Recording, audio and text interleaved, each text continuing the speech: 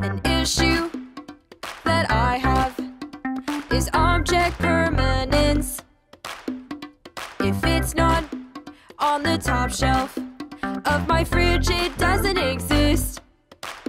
So I write things down, but I forget about the list that I meant to check. Cause an issue that I have is object